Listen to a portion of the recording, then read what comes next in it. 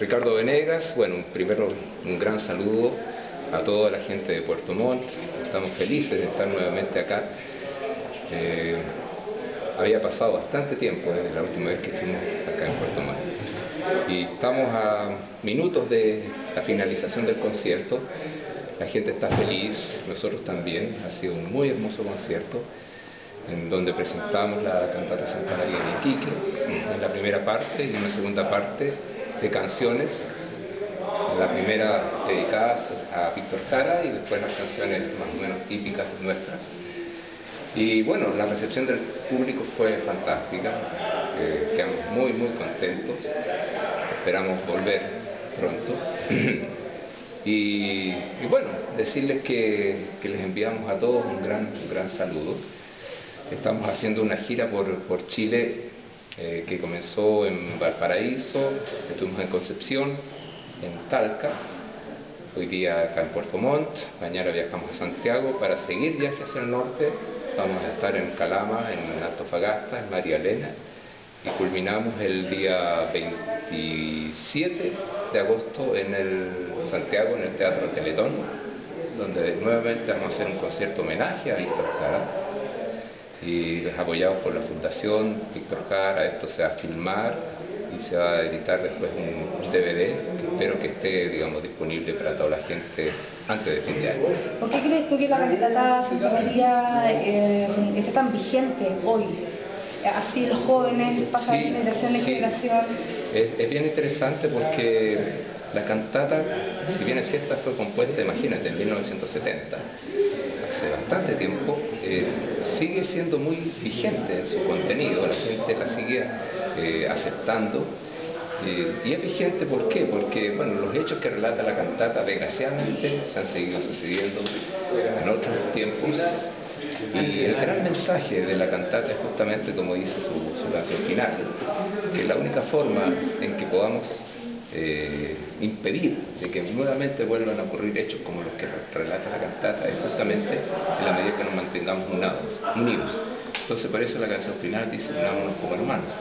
Y yo creo que eso es lo que mantiene la cantata tan, vigente. Y además eh, lo que nos ha llamado mucho la atención, que en todos nuestros conciertos es la, cantidad de jóvenes que hay digamos, en, en el público, jóvenes de 20, 21, 22 años que que no estaban, digamos, en, la generación nuestra, no vivieron los hechos que vivimos nosotros, pero sin embargo vemos que nuestra música les llega, que están felices, que se conmueven, que se emocionan, y bueno, nosotros, digamos, sentimos ese, ese enorme placer, pero al mismo tiempo una gran responsabilidad, un gran compromiso hacia ellos. Así que, bueno, nos vamos muy felices, muy contentos.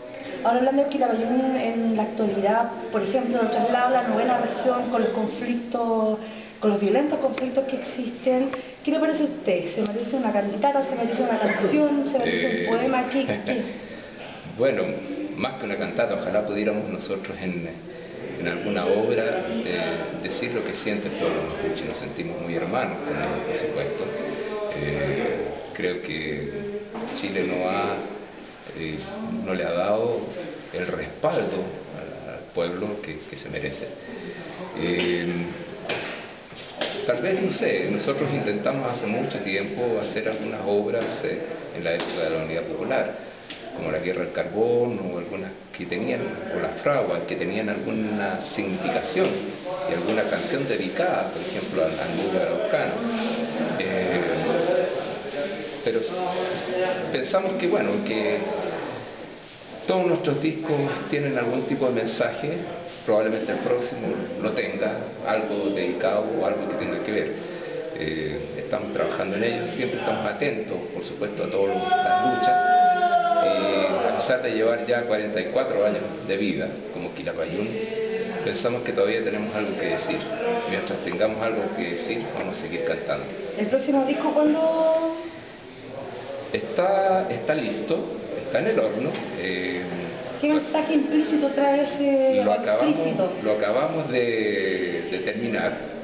Em, tiene un nombre, se, llama, se va a llamar Solistas.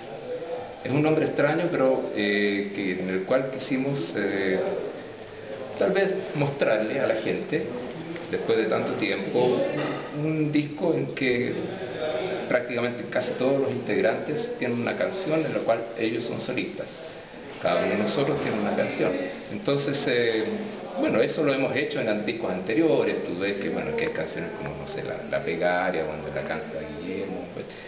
Pero en este disco, bueno, potenciamos un poco eso. Pero tiene también eh, una temática que es contemporánea. Eh, habla sobre los conflictos, una canción de Violeta Parra, que a pesar de que es muy antigua, pero sin embargo tiene una agencia que es increíble, que habla sobre los políticos, habla sobre la prensa, habla sobre los medios de comunicación, etc. Hay canciones de, Víctor Jara, como la que ustedes escucharon, el manifiesto. Hay canciones que en las cuales nosotros hemos querido recordar a Willy Odo, que es un gran compañero, un gran ausente, a través de una canción que compuso su propio hijo. Hay canciones dedicadas un poco a París, que es nuestra nostalgia también. Hay canciones que canta el grupo original que, comenzó este, historia de Chilapayún hace 44 años. Se reunieron por primera vez de muchos años Julio Nunhauser, Eduardo y Julio Carrasco, los tres fundadores de Chilapayún hicieron una versión de una canción de Munhauser que es El Todo Cambia, que también va a estar en el disco. Está la canción que ustedes escucharon al final, final del concierto, que es una especie de, de rap así que canta Jimmy Fernández con nosotros, que pienso que a la gente le va a encantar también. Entonces es un disco bastante variado y además, bueno, muy actual. ¿Esto se mostró ya o se...? No, el disco no se, no se ha mostrado, pienso que va a salir eh, en septiembre.